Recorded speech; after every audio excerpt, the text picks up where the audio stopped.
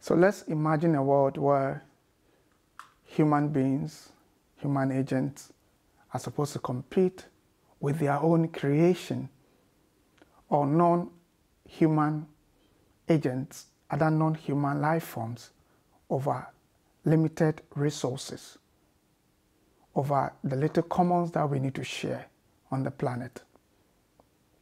Creating a responsible AI is well taught and very important conversation that we need to have. A responsibility towards the planet, towards ourselves, towards other life forms. I am Dodzi Koku Hattoh from the Philosophy and Classic Department at the University of Ghana in Ghana.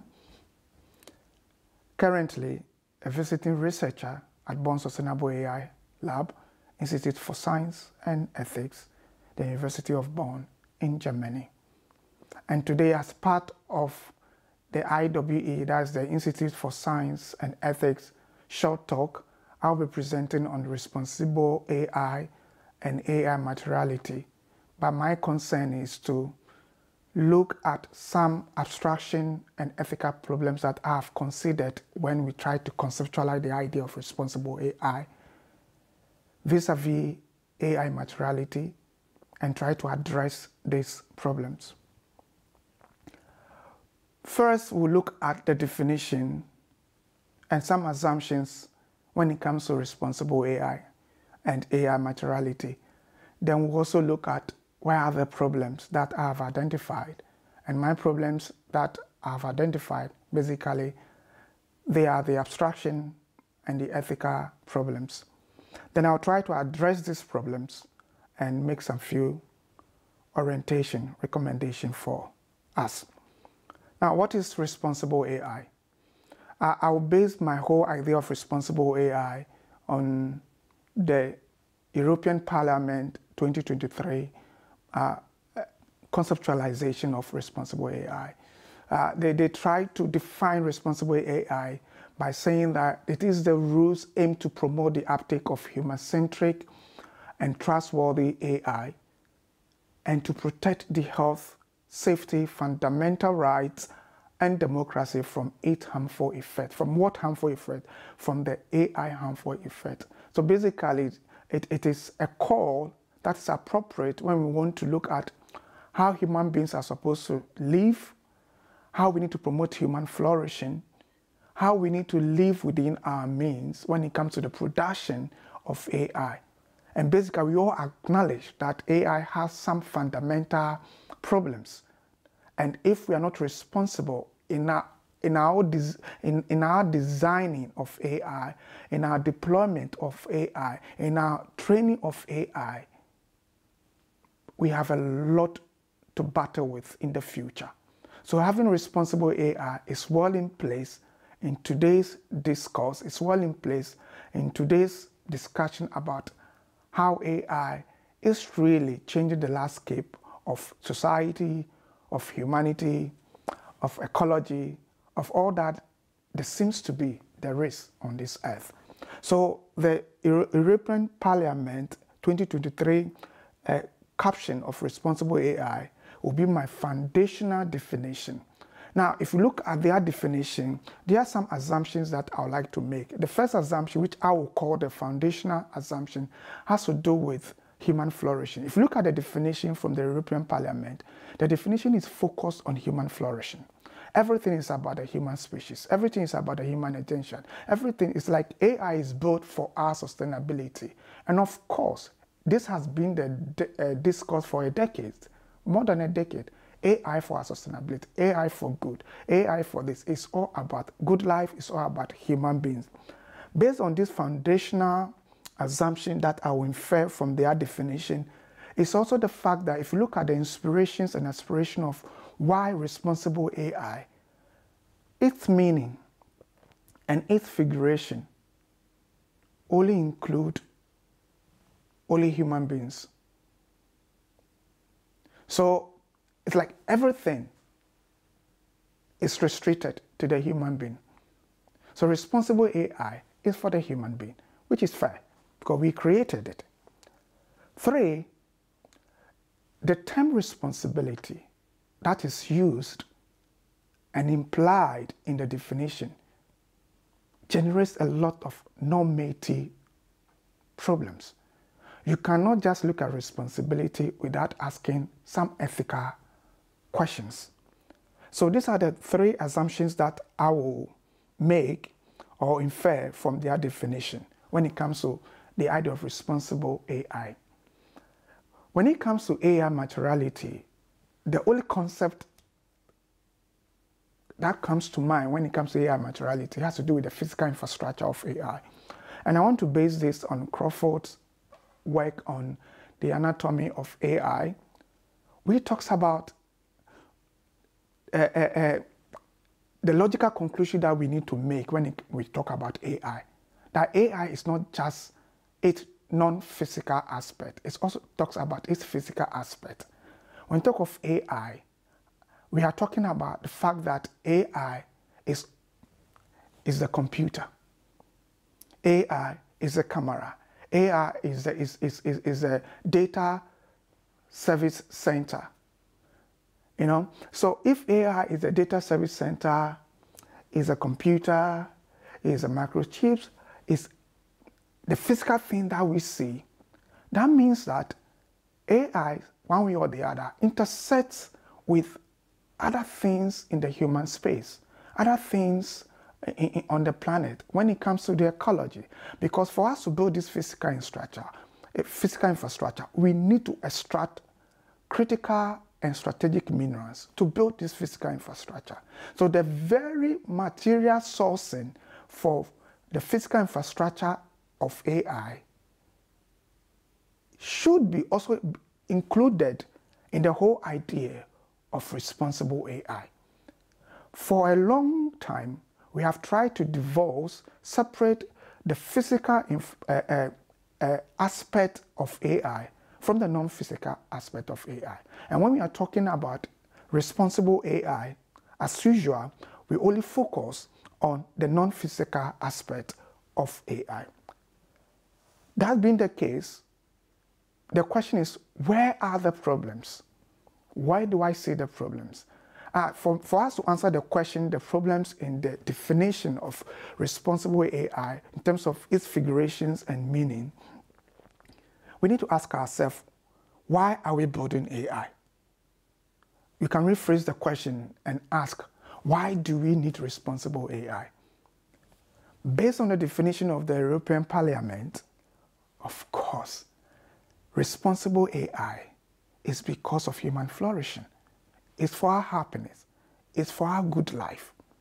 So based on this template of human flourishing, happiness, good life, this Aristotelian idea, we have consistently exclude non-human agent from the idea of responsible AI.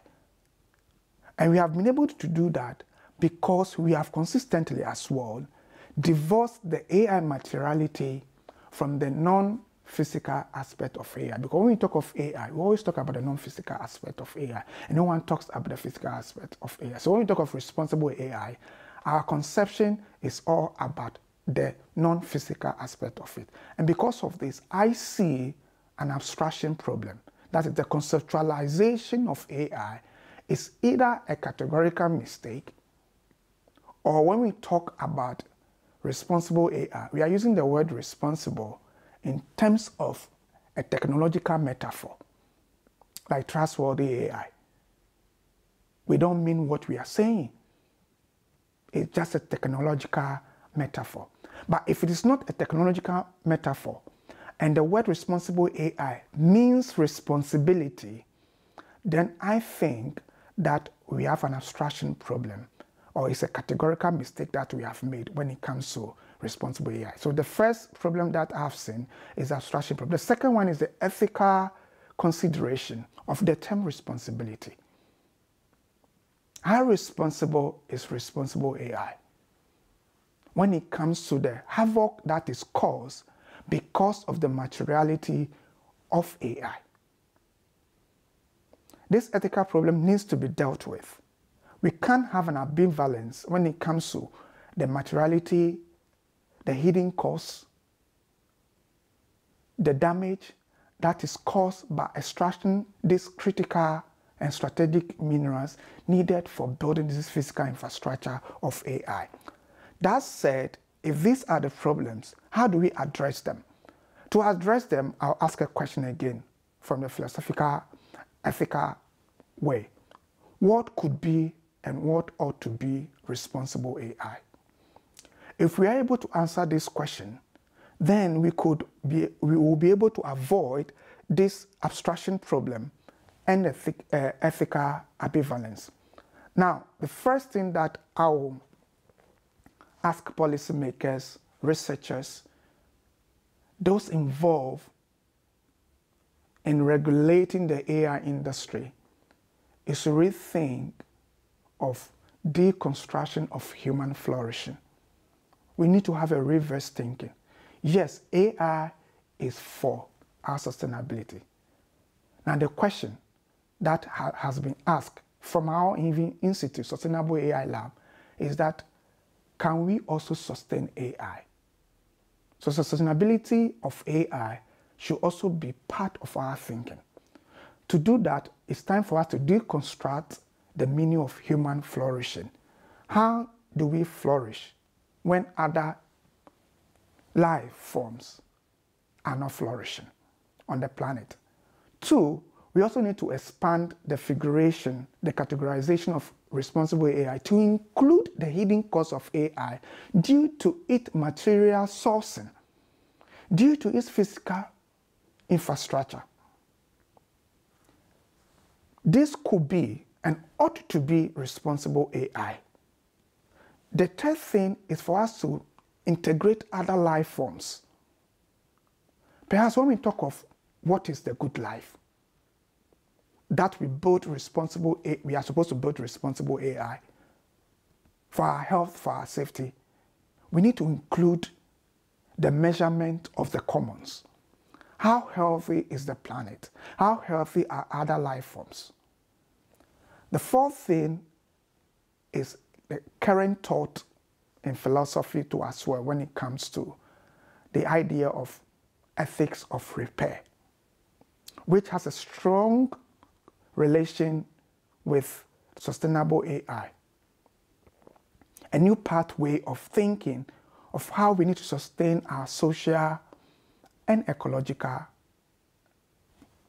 domains. And to do that, one way is to start repairing the gadget instead of throwing them away. We need to learn to repair them. And this could also help to reduce the consumption level of these AI technologies in our, in our lifestyles. In conclusion, I want to invite all policymakers, all researchers, to rethink of this AI materiality. It is key for us to understand this concept so that in future policy decisions, we need to include the harms caused by this AI materiality. So that when we talk of responsibility, we mean either causal responsibility or remedial responsibility because of the hidden cost of AI when it comes to its material sourcing. Thank you very much for listening and I'd like to use this opportunity to ask viewers to, to follow us on our series. Uh, uh, uh, there are other ones coming. We have other researchers in our institute at the lab working on AI in healthcare. Others are talking about the concept of sustainability, e-waste, feminist uh, uh, uh, relation with AI. And, and they will come one, one, one after the other. So I'll, I'll ask you to subscribe to our YouTube channel and have further discussions with us. My link is just under this video. Just send me an email. Let's have further discussion for further clarification and philosophical discussion on other aspects of AI. Thank you very much for watching. Bye.